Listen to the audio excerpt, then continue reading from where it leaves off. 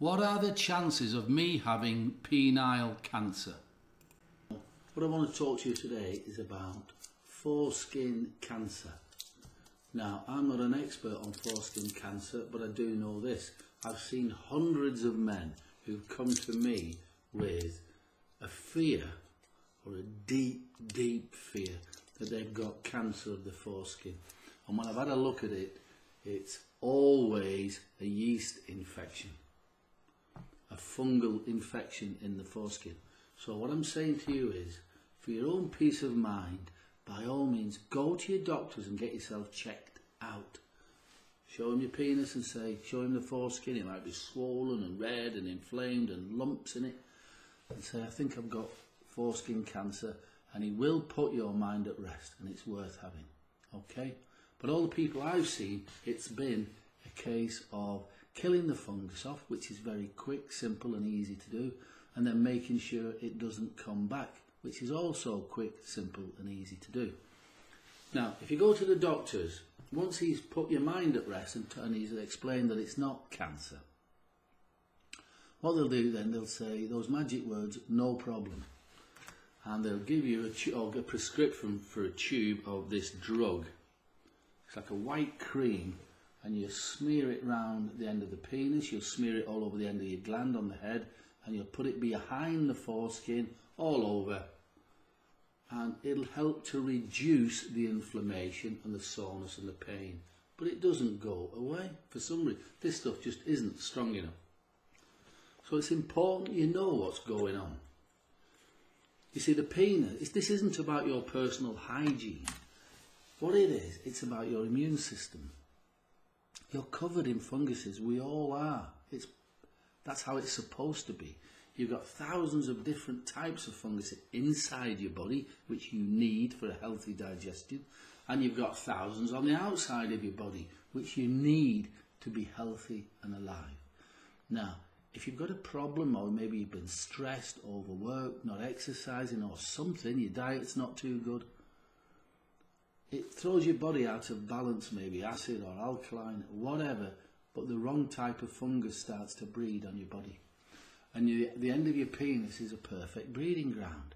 It's warm, it's dark, it's damp, and there's plenty of food. The food is the skin of the foreskin. Hmm? So, it's not about personal hygiene. You cannot wash this off. So, this is what you do.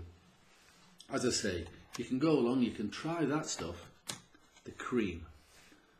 Then, men go back to the doctors and they say, well, doctor, that didn't work.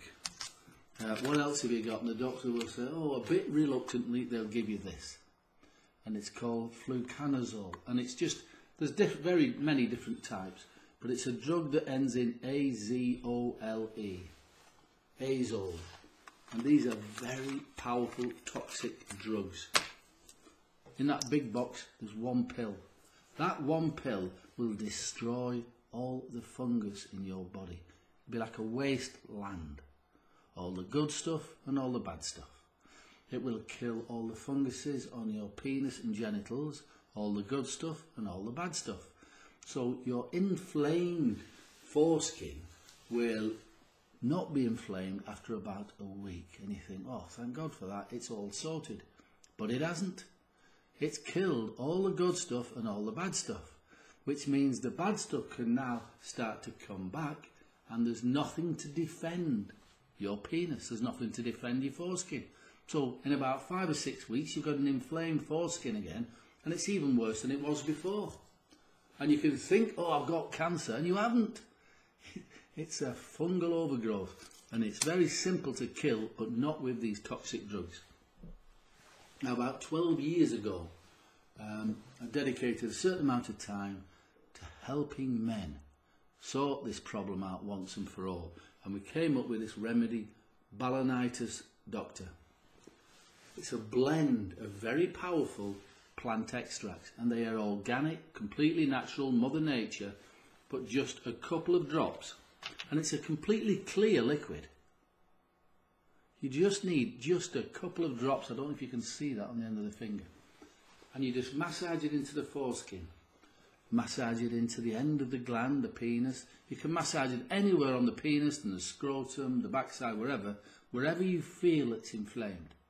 It'll kill off the fungus on contact, but it will not damage your skin. It won't damage your foreskin. So now get this.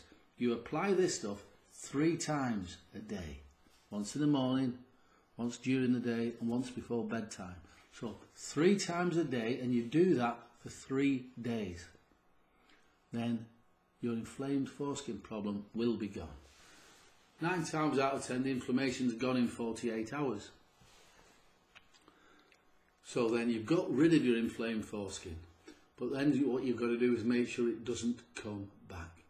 So once a week after that, just to have a bath or a shower, whatever you do, and even though you haven't got an inflamed foreskin anymore, you, you know you haven't got cancer, you know all of that, it's just you've got a nice clean foreskin, apply this stuff once a week. It's very beautiful, fresh fragrance to it, doesn't interfere with your sex life, and that's another quick point. If you have got a yeast infection and you've got a partner, the chances are your partner may have it as well. You can use this remedy to get rid of a yeast infection in your partner. You can apply it to a vagina, uh, inside the vagina, to the lips, to the vagina. There's no problem whatsoever. It'll kill the fungus in the, for the lady as well. Okay? And that's it. Now, comes in an envelope like that. There's a link below this video. If you contact us, we'll send this out to you today. As soon as you've got it inside, there's one bottle that will last you at least six months, and there's the, the technical information as well. And that's it. We can get it sent out to you today. So there's a link below the video. And could I also ask, while you're here, can you subscribe to us so that we can share um, more videos with you? And if you've got any comments on this video, feel free to leave anything you wish. All right, let's get it sorted. And remember, you haven't got cancer. By all means, get it checked out, but get peace of mind and get on with your life and enjoy yourself. All right, bye for now.